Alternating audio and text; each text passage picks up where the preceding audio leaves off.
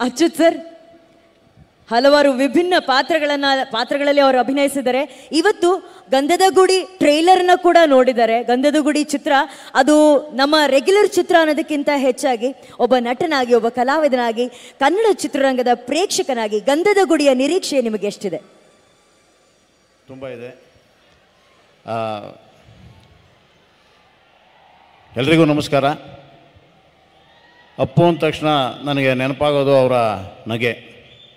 ಒಂದು ನಿಷ್ಕಲ್ಮಶವಾದ ನಗು ಮುಖಾಂತರ ಅವರು ನಮ್ಮ ಎಲ್ಲರನ್ನ ಮಾತಾಡಿಸ್ತಾ ಇದ್ದರು ಎಲ್ಲರನ್ನ ಒಳಗೊಳ್ತಾ ಇದ್ದರು ಯಾವತ್ತೂ ಕೂಡ ಅವರು ನಮ್ಮನ್ನು, ಅವರ ಸ್ಟಾರ್ಡಮ್ ನಮಗೆ ತಾಗೋ ರೀತಿಯಲ್ಲಿ ನಡ್ಕೊಂಡೇ ಇಲ್ಲ.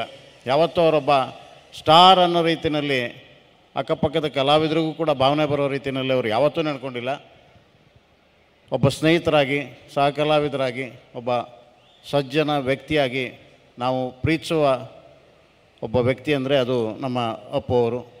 ಅವ್ರನ್ನ ಮಿಸ್ ಮಾಡ್ಕೊಂಡಿದ್ದೀವಿ. ಆದರೆ ಅವ್ರನ್ನ ಇವತ್ತು ನಾವು ಗಂಧದ ಗುಡಿ ಮುಖಾಂತರ ದೊಡ್ಡದಾಗಿ ಸೆಲೆಬ್ರೇಟ್ ಮಾಡ್ತಾ ಇದ್ದೀವಿ. Thank you. ಥ್ಯಾಂಕ್ ಯು ಅಚ್ಯುತನ ಥ್ಯಾಂಕ್ ಯು.